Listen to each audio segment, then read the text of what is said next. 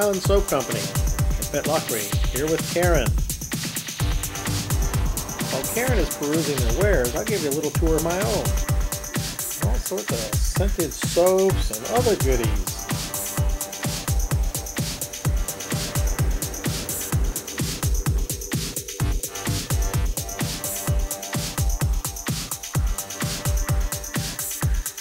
Yeah, we're here in Grandtully, also I think sometimes called Grantley. The Highland Chocolatier. Ian Burnett's The Highland Chocolatier. It's a terrible day though. Let's go outside, go get a hot cup of coffee or some tea. That's what it looks like.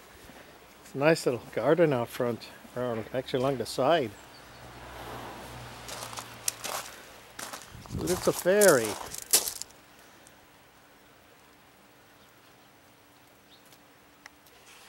The Ian Burnett Highland Chocolatier were warmly welcome to the home of the international award-winning Velvet Truffle. Ooh. Here's some of the awards in recognition.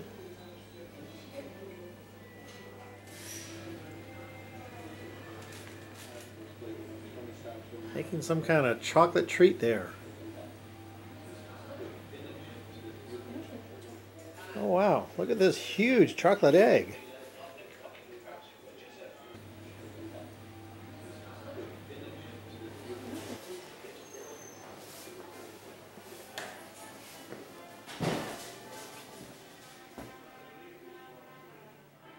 Chocolate shop, left.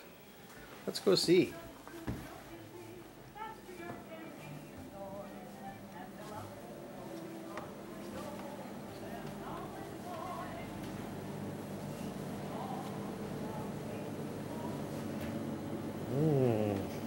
Fancy candy bars.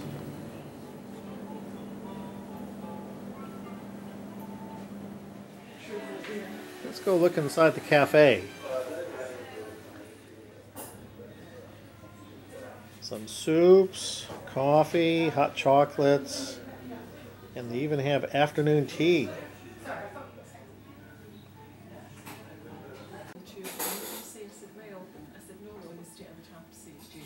We just enjoyed a nice hot coffee in this warm and quaint little cafe on a cold and rainy afternoon. Very nice indeed.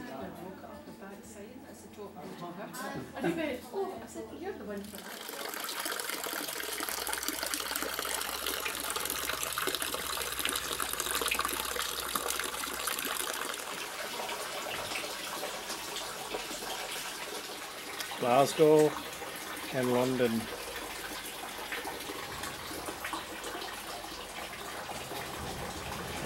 This is the A24 press.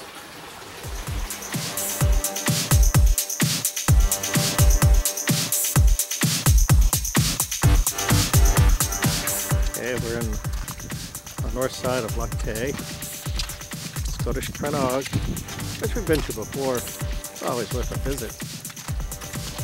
There's the Crannog way over there.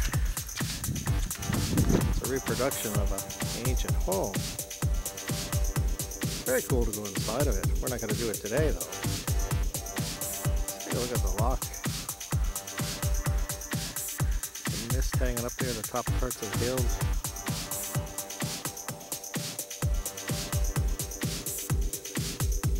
There's the crown. And it's going to go in to look at the jewelry and other things they always have for sale here. Let's go on in.